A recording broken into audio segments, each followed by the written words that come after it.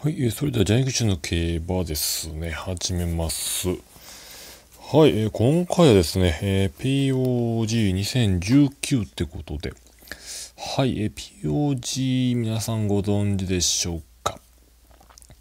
はい、えーっと、新馬戦からですね、えー日本ダービーまで、えーポイント競うんですけど、えーデビュー戦までに、えー指名する、えー10頭ですね、えー指名すると。GR 版の POG なんでで、えー10頭決まるまでですね、えーまあ、木曜日か、えー金曜日ですね。まあえー私ちょっと新馬の戦新馬の情報遠いんで、えー木曜日に、えーちゃんとした、えー出走馬出てこんとちょっと情報が疎すぎるんで、はい、そこから決めようと思ってますんで。もし、えー木曜日登録の時に、えー注目した馬がいたらですね、えーそちらを POG で紹介することにします。はいえーちょっと決まるまで、えー根気よくやりますんでよろしくお願いします。はい。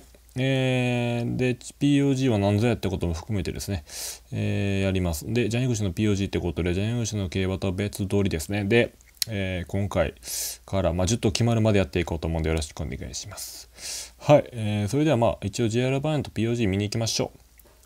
レッチェゴーはい、えーそれでは、えー少しですけど、えー GRA 版いきましょう。はい、えー、っと、えー今すぐエントリーってことで、こう書いてます。POG ですね。はい。えー昨年も8万人のエントリーがありました。すごいですね、これね。はい。えー国内最大級のペーパーオープンダキャップって書いてます。POG。略して POG です。はい。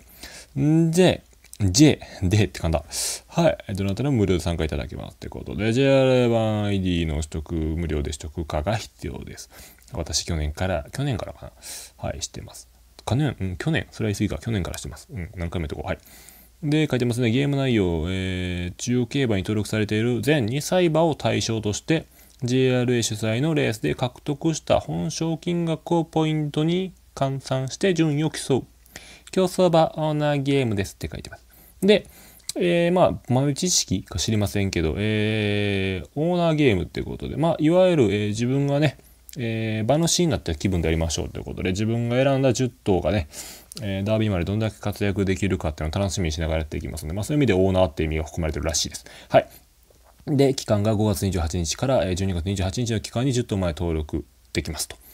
はい。で、新馬戦開幕からダービー当日までのポイントを競いますってことで。はい。まあ、今から約7か ,7 ヶ月、8ヶ月かな？うん、ちょっと計算的に。うん7ヶ月かな？えー、まあ、選択できますと。はい。んで、えーまあ、各社の乗車、上位者か、えーまあ、賞金ゲットなんですけれど、まあ、なかなか難しいですね。で、まあ、えー一応見ておきましょうってことで。えー私エントリーしますので、マイページいきます。はい、じゃあ、二口さんお願いします。参加数5万6643人いますってことで。で、これちょっとね、ちょっと今から、えーちょっと、ちょっともう雑談入っていいですか？はい。もともと雑談ですけど、雑談入っていいですか？すいません、あのですね、こう、あの、商品どんだけもらえるんですか？すいません。まず、賞金がどんだけもらえるんですか？はい、えーと、もう、ほんまに上位ですよね。1位に、すげえな、1位賞金50万円もらえるよな。すごいな。結構リアルな話やな。はい。で、飛び賞が、えーと、250位まで確実にもらえて、飛び賞があと100位刻み。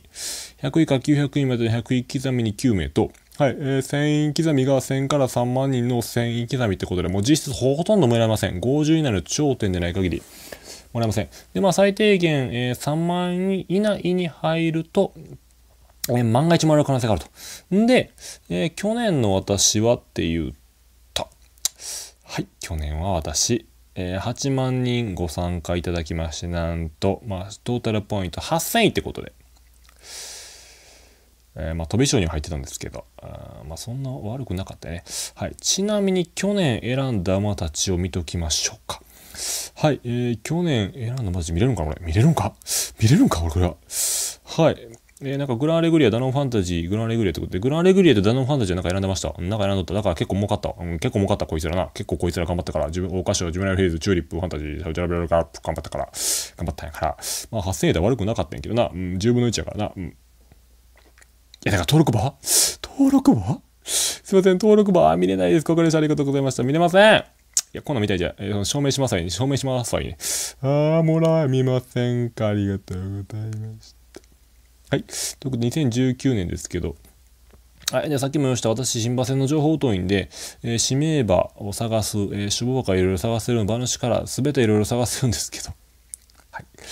えーちょっとこれだけでは情報がわからないんで、はい、先ほど言いました、えー木曜日ですね、に、えー登録、えー出走登録馬が発表されますんで、そこからちょっと決めていこうと思ってます。はい。で、その時にジャニー口の競馬ではなくて別撮りかな。で、ジャニー口の POG っていうタイトルつけさせていただいて、えー紹介すると。まあ、軽くですからね。えー多分短時間でしょう。多分5分、10分で終わるの話しちゃうかな。でも一応それ別撮りやっていきますよと。事前調査、自己調査等々と別にね。はい。で、えーさっきも言いましたゲーム概要は大体分かってますえー、ですね。はいはいはい、えー了解です。あとはですね、何かありますか？えー参加し、参加方法も知ってますよね。はいはい、それさっき言いましたので分かってます。ありがとうございました。ポイント加算までのスケジュールを先言いました。えーと、当、えー該当馬が、えー登録する日、登録というか出走する日の前日、ね、23時59分までに登録、登録っていうか、えー示してくださいよと。うんですね、日曜日ね、えー、出走の場合は土曜日の、えー、23時59分まで。はい。了解です。はい。で、ちょっと待ってください。クシャが出ます。ちょっともう一回クシャが。もう一回、もう一回、んクシャが出ます。はい。で、あこれはね、はい。で、えーまあ、これ今回からやっていくんでよろしくお願いしますということと、はいえーちなみに、えー先週が始まってたみたいです。すみません。私、全然先週、え全く見てなかったんですけど、先週の新馬戦。で、えーまあ、大体ですね、えーまあ、強い馬って、えー大体普通新馬戦、デビューって大体東京が多いんですね。普通はね。はい。で、えー阪神の新馬戦、去年、去年じゃなくて、ちょっと、くしゃみが出ます。はい。えー阪神の新馬戦6月1日は、えーリア・アメリアが勝ちました。えーラルゲッツ相手に8馬身、そして単勝1.2倍、それもそのはず。はい。えーディープインパクトに、えーえーリア・アントニアってことで、まあ去年も脂肪出てるんです。えー去年もこのね、えー、決闘出てるんですけど、今年は何と言っても毎回最近言ってますね。はい、期待の星中尾田さんとこってことで注目ですね。ただもう POG 締め終わりましたんで、このまま終わりましたよってことですいませんってことで。まあ一応この強い馬たち見とき、あ、間違えた。えーこの強い馬たち一応レースっぷり見ときましょう。はい、3番の馬ですね。軽くですけどね。はい、どうぞ。はい、えースタートいいんですか？えースタート。すいません、鼻が。花粉ちゃうぞ、これ。はい、えー3番。大体でもこういう、えー両血馬とか能力あれば、結構でゲートのタイミングって悪いですよね。うん。毎回思うけどな。毎回思うけどな。これ注目されてるのは大体ゲート来るのがびっくりするぐらい。うん。で、はい、もう首割れてますってことで、もう全然、えー折り合いつけて頑張ってますんで、はい、めっちゃ首割れてますけどね、はい、生きた生きた言ってるんですよね、これね。うん、馬怒ってるね、これ。はい。で、気象がちょっと荒いんでしょうかってことで。ただですね、4コーナー回って、えー直線まで、まあ、まだフラフラしてますけど、馬なりですよと。すごいですよね。うん、大体、両血馬のほんま新馬戦、大体こんな多いですよね。荒削りなもんがありますがってよく見てますけど、ほんまに荒削りやん、これ。で、はい、えーノンステッキで買ってるんです、これ。あ圧勝ですね。すいません、あの、めちゃくちゃ強いの、これ。初めて見たけど、めちゃくちゃ強いの、こいつ。すげえな。何もしてないよ。な、何もしてないよ、こいつ。すげえ。わあ、これ POG やな。これ POG ちゃう、これ。え、これ POG ちゃう、これ。楽勝や。すげえな。8馬身。何あれ？何あれ？はい、えー、リア、アメリア登録してきました。はい、簡単、次。はい。はい、ありがとうございました。で、この前は登録してる場合じゃないですけど、すいません。えーあとは、えー東京の1004は、カイトレッド勝ちました。これは、あれかな？大したことないって言ってたけど、東京1004出てくるってことはそんなに、あれですよね。ああ、まあ、これはちょっと、えー、話されるし、そんなあれすることは日曜日見ましょう。日曜日、まず阪神から。阪神の芝戦4、えー大西ビジョンが勝ちました。これは強かったんでしょうか。はい。タートルボール3区。あ、母父スペシャルウィークですか。はあ、はあ、はあ。これはもしかしたら後のはい、えー、G1 で出てくるかもしれないですね。8スペシャルウィーク G1 で活躍ありますよってことやってきました。あとエピファネア3個も出てきますね。すごいですね。レッドブロンクスか。すごいな。8チなんと金亀すげえな、こいつ。すごい、これ。両血の両血これ。すげえな。了解されてございました。すげえ。すげえな。はい、了解です。で、えー、あとは東京見ときましょうか。東京の新馬線はどこやどこや。あれ？東京の新、あ、じゃあ2日、2日の、2層あります。まず1層目。ああ、これは見た気がする。サリオスとアブソルティスモでしょ。知ってるこれ。ああ、本命対抗俺バッチュン打ってたけど、そよ。なんか印できよったこれ。はい、まずサリオス、えー、ハーツクライさんくにお母さんサロミナってことで、こちら、えー、サロニカ・サラキアの、えー、兄弟。で、えー、ハーツクライってことで、えー、半妹になるわけですね。弟だったっけ？あ、半弟ですね。はい。こちら、鉄板の方程式なんと堀さんに最強外人すげえな。堀レンや、これ。来たな、これ。最強や、鉄板の方程式と、えー、対するは、えー、アブソルティスも、こちら。はい。ダイヤメジャー3区にお母さんが、えー、ラドラーダってことで、これ有名ですね。はい、レイディオロのレイエンダのとこです。そして、反弟ですね。ダイヤメジャー3区で今回血を出ますよってことで。はい。えー、ここっちも勝利の方程式なんと、フジルメ藤沢さんルメちゃん。はい。最強外人のえー、鉄板コンビの、えー、勝利の方程式でしたけど、はい。えー、アブソルティスモは逃げていきますよと、えー、スタートセンス良かったですね。はい。ダミアン姉さん7番は外回してます。えー、勝負服見て分かる通り水色のところなんで、これシルクですね。はい。えー、1番のまもなり逃げてるんですけど、7番エンジン5、3連鎖かけた瞬間に行ってらっしゃいで分かりましたよでね、ちょっと一頭違う足が出てます、これ。これはすごかったな。これはちょっと注目やったやろな。これはやばいと思って。はい。ちょっとこの糸将来性あるかなーってとこですけど。うん。えー、ちょっとね、束に全然突き放してますんで、束王か。ちょっとこれ強いね。で、出てるところがね、まず東京マイルデビューっていう馬たちってやっぱオーダーとか走ってますんで、ここ勝った馬ってほんまに、後に出世する馬、極端な話多いです。うん。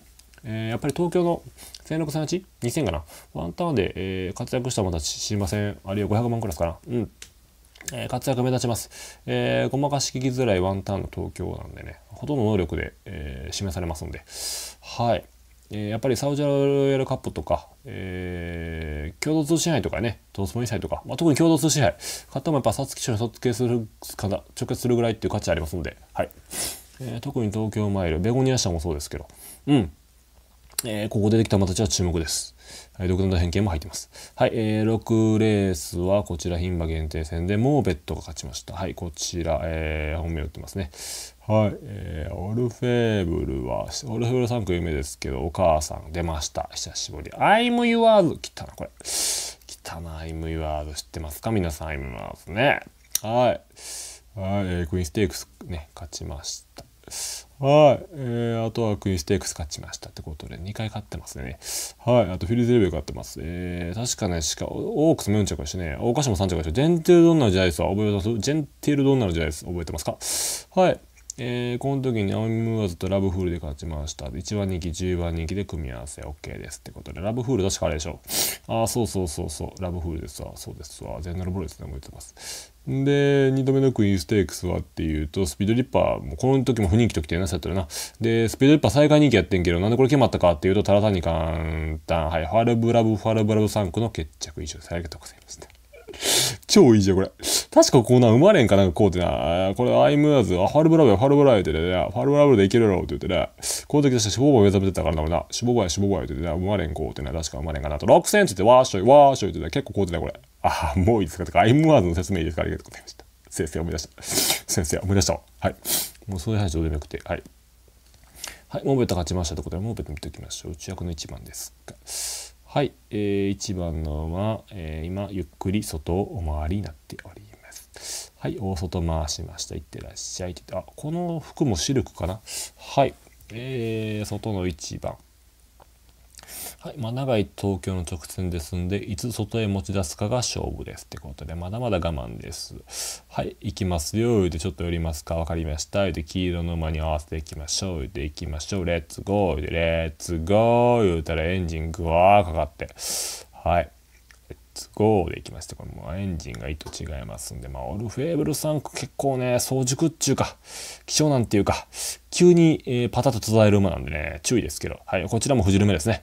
頑張ってください。フジルメがよう活躍してますんで、よろしくお願いします。はい、ということで、POG っていうか、えー、新馬戦選手の紹介終わります。で、今週またね、もし、そういう系、そういう系出してるやけど、将来性、まあ、ダービーまでがやっぱあれなんでね、新馬戦だけってことにはいかんので、勝ってもしゃあないんで、はい、まあ、ダービーまで、去年のね、グランアレグリア、ダノンファンタジーぐらい見込めたら、やっぱりまあ、ディープ参加と思うんですけどね、はい、見込めたらいいなって、まあ、おったら紹介しますんで、よろしくお願いします。ということで、ジャニムチの競馬は以上で終わっときます。ご清聴ありがとうございました。